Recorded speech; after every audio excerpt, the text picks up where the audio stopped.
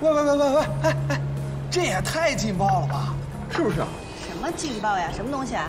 李老板，非常的劲爆，这要是大家都看到了，非炸了锅不可。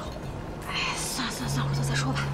你看这大 V 转发量这么高，是吧？一会儿就上热搜了，瞒是瞒不住的。不是，这事咱们来说不好。你们到底说什么呢？分享给我们看看，急死人了。就是，你赶紧的吧，分享来给大家看看。那李老板，我就用我学姐的手机分享朋友圈了。快快快，你别磨叽，一天到晚磨叽。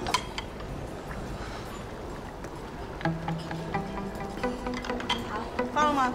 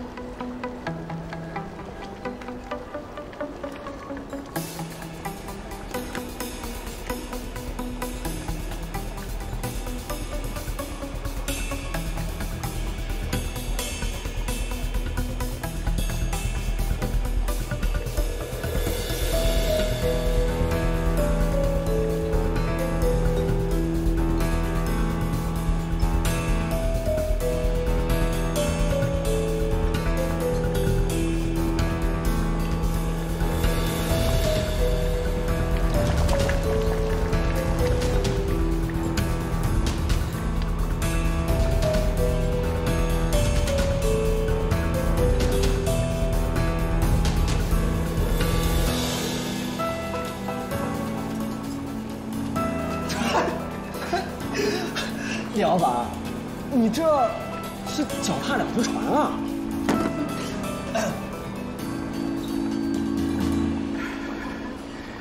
吃饭，吃饭，吃饭。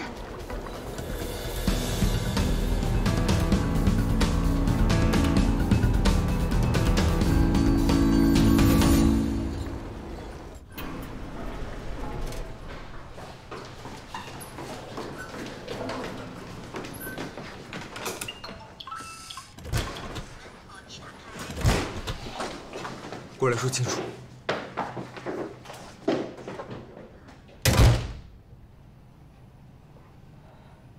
这个傻子，树洞都写的那么清楚。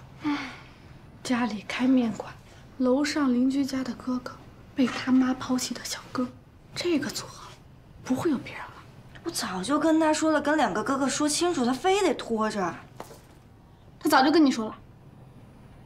果然你们两个比较好，而且你知道了也不告诉我。啊，不生气不生气，我们回去慢慢说啊。走了走了走了走了走了走了。你们虽然没有血缘关系，但是在一个家庭里长大，算是真正的兄妹吧？你怎么对他有这种想法？你说的是我妈跟爸结婚之后的情况，但事实上呢，我跟李尖尖并没有实际上的兄妹关系。那要是这么说的话，你跟我有什么区别啊？我爸不把你当亲儿子养吗？你除了不睡在我们家，难道你们不是亲兄妹吗？小时候可是我亲手把李尖尖从坏人手里抢过来的，邻居们都看到了。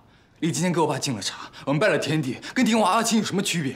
娃娃亲？你现在跟我扯这些歪理，那我算什么？我还童养夫呢！我从小就跟李尖尖睡在一张床上，那要按这种情况的话，我们以后不在一块儿，那是不是天打雷劈呀？你要这么想，我也没有办法。你要不要回去问问李爸，他是把你当儿子养还是女婿啊？你闭嘴吧！你问问你妈。你要是跟李尖尖在一块儿，她能同意吗？我跟谁在一起不需要我妈同意，只需要当事人同意就可以了。啊，好，当事人同意，那太好了。那我告诉你，李尖尖对于咱俩都没有那种想法，她把咱俩都当哥哥。只是对你没有。你醒醒吧，你是你醒醒吧，我们已经在一起了，没来及告诉你而已。你们俩在一块儿，哎，他是不是出现幻觉了，李尖尖？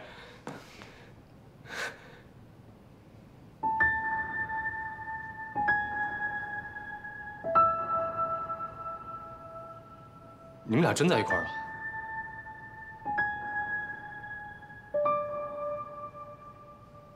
你没把他当哥哥呀？不是，小哥。那为什么都是哥哥你就选他不选我呀？你别吓他。都这么宝贝了，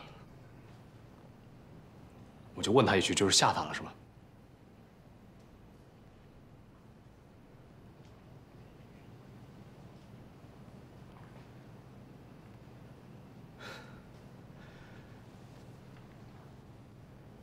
我就不明白了。